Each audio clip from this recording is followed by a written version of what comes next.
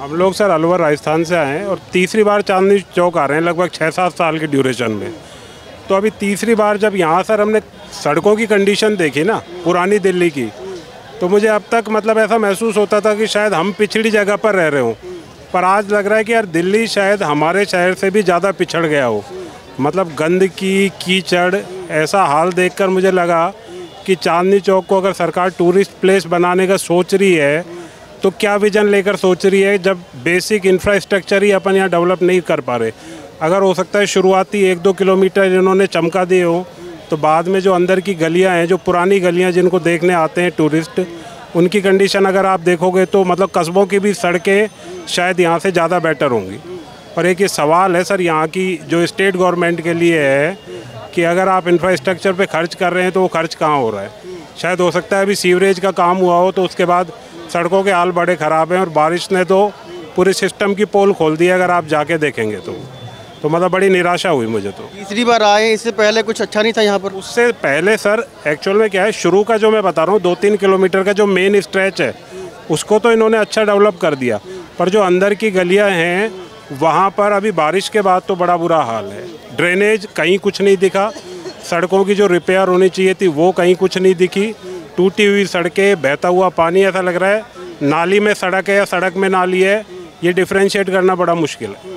तो ये चीज़ आपको भी ऐसा लगता है? हाँ मुझे भी ऐसा लगता है क्योंकि कीचड़ ही कीचड़ देखी आज मैंने। तो तीन साल में ही हमने वो जो कंपेयर किया मतलब एक होता है कि अपन सोचते हैं कि यार और बढ़िया बेहतर मेरी राजधानी।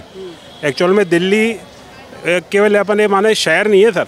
ये पूरे भारत को रिप्रेजेंट करती है। है ना? मतलब अगर बात हो तो कि भाई अगर चाइना की बात करें तो अब बीजिंग तो ऐसे ही जब भारत की बात करते हैं तो दिल्ली। तो दिल्ली की सड़कें अगर कस्बों की सड़क से भी ख़राब कंडीशन में आ जाएँगी तो फिर आप सोचें कि ये मतलब हमारा एक क्या एक चेहरा चरित्र पेश करेगा वर्ल्ड लेवल पे। आम आदमी पार्टी जब केजरीवाल साहब जिस तरीके से पेश करते हैं अपने कामों को लेकर जनता के बीच में आपको लगता है कि वैसा ज़मीन जमीनी स्तर पर नहीं हो रहा है? सर मुझे तो नहीं देखा देखिए मैंने तो अभी एक छोटे से एरिया में तीन चार किलोमीटर में ही देखा है तो वो चीज़ मुझे नहीं दिखी। अब वो हो सकता है वो फ्री रेवड़ियाँ बांट रहे हो सब कुछ कर रहे हो पब्लिक उससे संतुष्ट हो पर जो बेसिक चीज़ होती है जो एक सरकार को करनी चाहिए कि यार ये सड़कें अच्छी हालत में हो यहाँ का ड्रेनेज अच्छा हो तो वो नहीं दिखा सर मेरे को यहाँ पे। मैडम आप महिला हैं आपसे एक बात करना चाहूँगा बंगाल के अंदर में जो हुआ है डॉक्टर के साथ क्या कहना चाहेंगे आप? क्या कहें कुछ बड़ी नहीं है। तो पूरा भारत को शर्मशाक कर दिया उन्होंने। मतलब लेडीज़ की कहीं भी सुरक्षा नहीं है। आप कहीं भी चाहे दिल्ली हो चाहे मुंबई हो चाहे कोलकाता हो इसके लिए एक्शन लेना पड़ेगा सरकार को या फिर आम जनता को भी सबको एक्शन लेना भी चाहिए। बहुत बेकार चीज़ हुई है। क्या एक्शन लेने की ज़रूरत है आपको लगता है?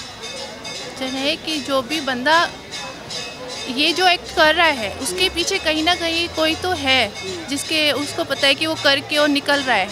वो मतलब फ्रीडम है उसके पीछे उसको कोई डर नहीं है वो कर रहा है खुले आम कर रहा है। तो उसके पीछे कोई है या तो गवर्नमेंट का हाथ है या फिर कोई थर्ड पर्सन का हाथ है तो ये चीज़ देखना है कि उसके पीछे किसका सपोर्ट है जिस इतनी मतलब दयनीय स्थिति करी है उसने कानून और सख्त बनाने की ज़रूरत है। कानून तो वैसे भी सख्त हैं या फिर इसको इम्प्लीमेंट नहीं किया जा रहा। इम्प्लीमेंट करना चाहिए कंडीशन के अकॉर्डिंग इम्प्लीमेंट करना चाहिए।